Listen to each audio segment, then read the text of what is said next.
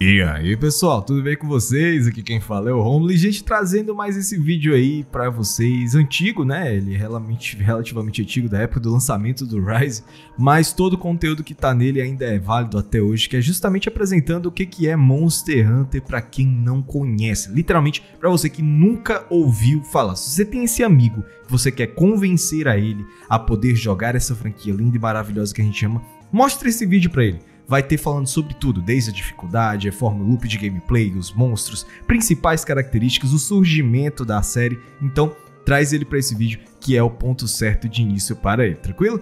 Mas antes de começar, gostaria de pedir a vocês que, caso você goste do nosso conteúdo, deixa aquele like bacanudo, nos ajuda bastante aqui no YouTube. Caso você venha curta, mas não é inscrito, considere se inscrever, porque você vai estar recebendo todo este conteúdo deste canal lindo e maravilhoso. E lembrando, gente, temos o nosso clube de membros, caso você queira ajudar a partir de dois reais é mais barato do que um caldo de cana com salgado. Então, caso você queira ajudar este canal a continuar e a conseguir investir cada vez mais dentro dele, considere aí entrar para o clube de membros de dois e três reais, gente. É baratíssimo, também não vou querer um valor muito alto, justamente para poder ajudar a fazer sorteios, esses tipos de coisas, tranquilo? Além também dos benefícios de cada tia que você pode olhar direitinho na hora que for assinar, tranquilo? Mas faça isso somente se for realmente válido para você e se for caber no seu bolso, tudo bem? Não vai fazer sacrifício se não for necessário, tranquilo? Então é isso, gente, e vamos para o vídeo.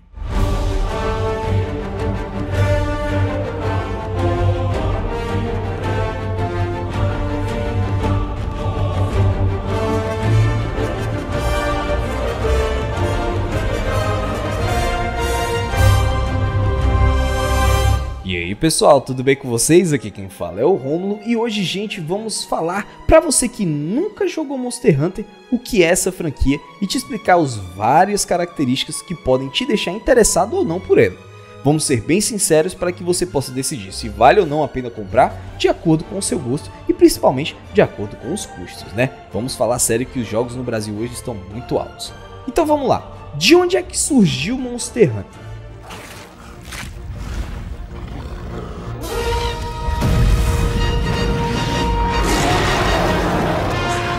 Monster Hunter é uma franquia que veio ali de 2004, foi lançada ali para o PlayStation 2. Ela foi basicamente criada com o propósito de focar no multiplayer online, mas não foi só ela. Outros dois jogos também foram desenvolvidos pela Capcom. Um é o Automodelista, que era de jogos de corrida, né? Então, uma coisa mais esportiva, e o Resident Evil Outbreak. E aí o que que acontece, gente? O Monster Hunter ele tem um loop de gameplay bem específico. Caso você não saiba, loop de gameplay é um conjunto de ações que você vai repetir várias e várias vezes, por isso o nome loop, dentro do jogo. E aí, o que que acontece? Você vai se divertir, você vai se encantar através desse loop de gameplay e vai repetir até o final do jogo ou até mesmo até onde você achar interessante. O que que é o loop de gameplay do Monster Hunter num geral? Você é um caçador, você tem que se armar de armaduras e armas, se preparar para poder enfrentar monstros. E quando você enfrenta esse monstro, você luta, mata ele, pega as partes deste monstro e fazem novas armaduras e novas armas, e assim você vai progredindo, enfrentando os monstros mais fortes sucessivamente. Mas você vai me perguntar, Rono, mas o que é tão interessante nesse loop de gameplay? Porque é só basicamente mata o bicho, pega equipamento e mata bicho. É justamente como a Capcom construiu esse loop que torna ele interessantíssimo.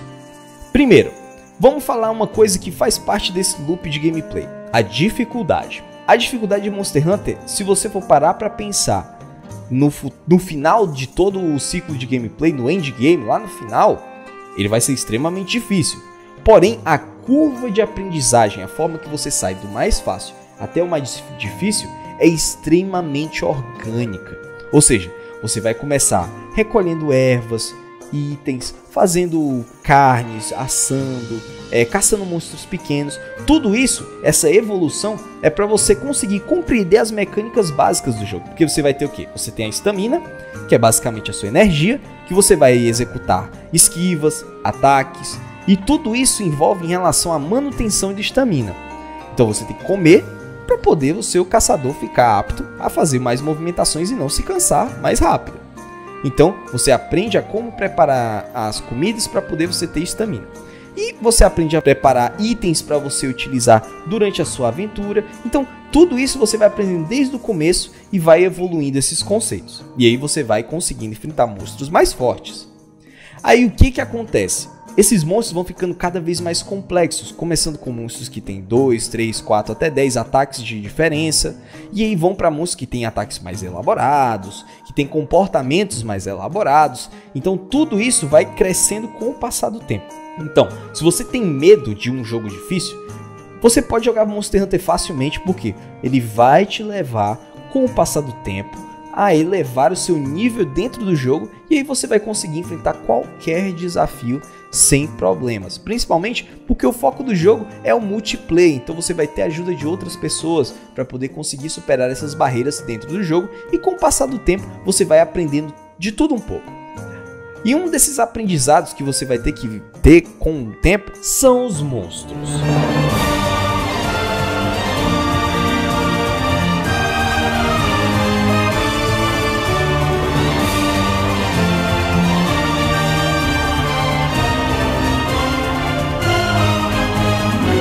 Digamos que se eu fosse dizer que os monstros são os personagens principais do jogo, eu estaria certo. Por quê? Eles têm animações espetaculares, orgânicas, bem pensadas. Você realmente pensa que aquilo ali é uma criatura viva. Se ele não estiver em luta, ele vai estar tá vivendo dentro daquele cenário. Ele vai estar tá fazendo ações, andando, dormindo, comendo.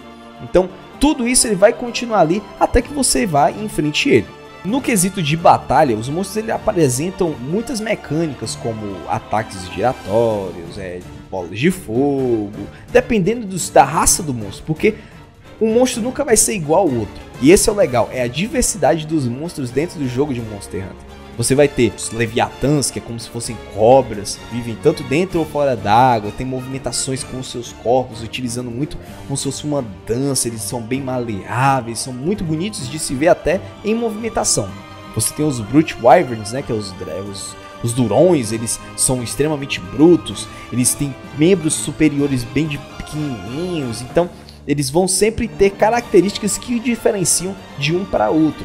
E aí vai tornando esses monstros cada vez mais singulares.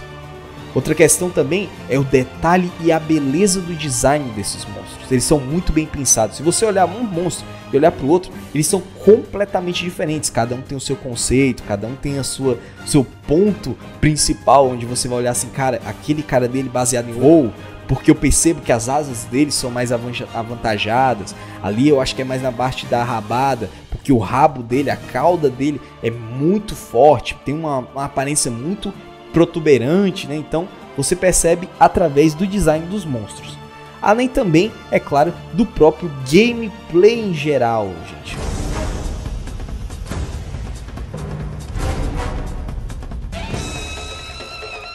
O seu caçador ele tem várias ações que ele pode é, efetuar com passatempo, como ataques, esquivas, técnicas especiais. Tudo isso é relacionado com a arma que você estiver utilizando.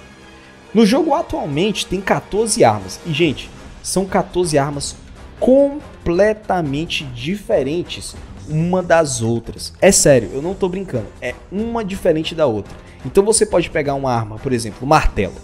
Você vai perceber que ele é muito mais é, pesado, lento, e que ele tem características que são mais para atordoar os monstros. E você vai pegar o arco, que é longa distância, você vai conseguir batalhar e meio que manejar toda a sua movimentação. Então, cara, literalmente, se você pegou uma arma e vai para outra, é como se o jogo mudasse completamente. É como se tipo tudo mudasse.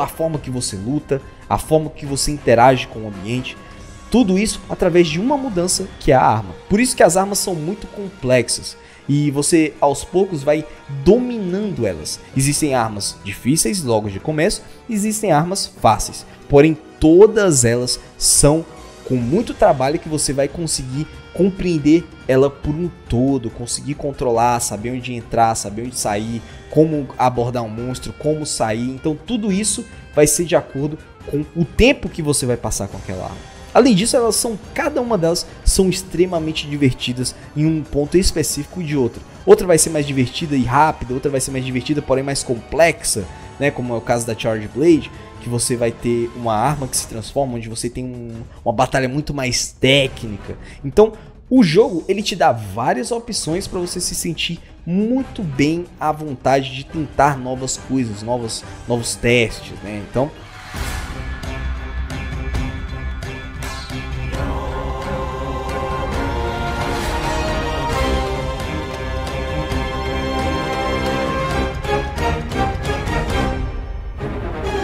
Mas então, o que, que torna Monster Hunter tão diferente dos outros?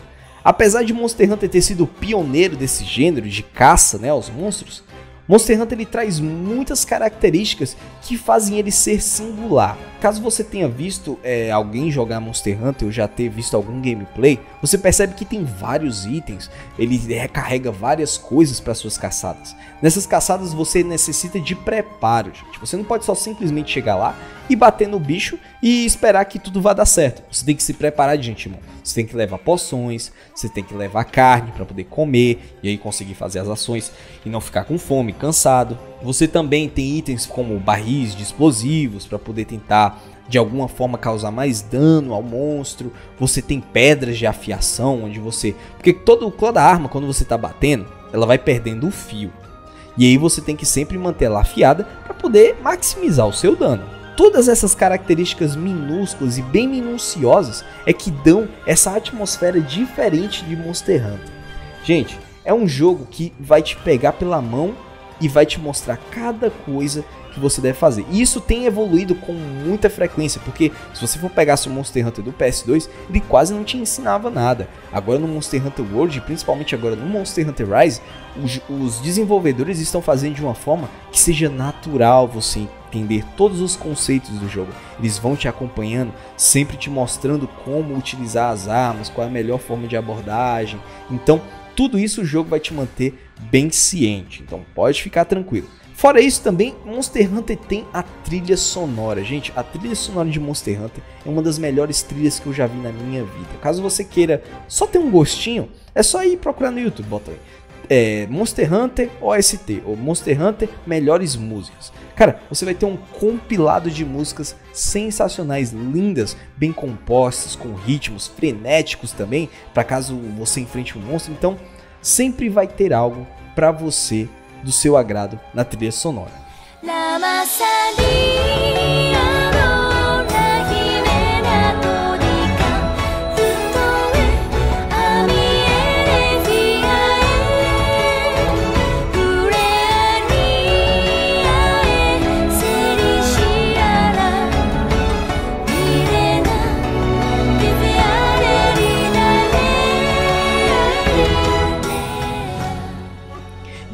você fala, depois de toda essa explicação, depois de tudo isso que você falou, vale realmente a pena jogar? Eu vou ser bem sincero com você. Monster Hunter foi o único jogo, eu acho que talvez a única franquia que todo jogo novo não me gera decepção. Ele me gera satisfação e me impressiona com sempre as evoluções que o time de Monster Hunter, os desenvolvedores, sempre melhoram o jogo. E aí você vai ver assim, ah, cara, é, mas não teve nenhuma vez que eles erraram? Sim, existe um ou dois erros, mas eles sempre corrigem. O grupo de desenvolvedores de Monster Hunter, eles escutam muito o público. Se você perceber, é o jogo que após todo o jogo ter completo, você comprar o joguinho, você ter o seu tempo ali, você vai gastar horas e horas jogando aquele jogo. Eu tenho certeza que se você pegar Monster Hunter, e se você gostar de Monster Hunter, no mínimo você vai gastar umas 200 ou 300 horas no jogo, então vale cada centavo que você pagou.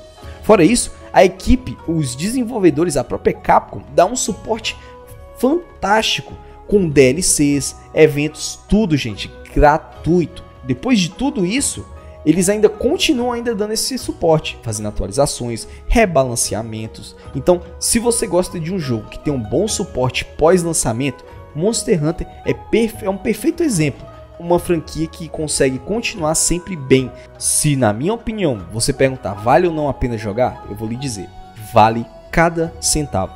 Porque você vai estar tá pagando e você vai estar tá recebendo uma quantidade tão grande de conteúdo.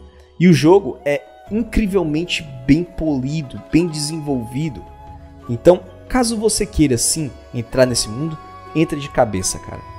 Vai com vontade. Se você quiser pegar o Monster Hunter World, ou se você quiser pegar o Monster Hunter Rise, ou até mesmo uma velha guarda de Monster Hunter, todos esses jogos são excelentes para você jogar. São gostosos. No começo você vai achar um pouco estranho, porque são vários conceitos, mas depois você vai se apaixonar por essa série e eu tenho certeza que você vai acompanhar todos os jogos que vão vir no futuro.